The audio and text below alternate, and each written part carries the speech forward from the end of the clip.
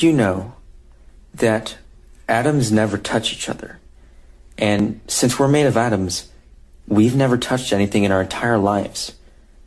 So to answer your question, officer, no, I did not punch that kid.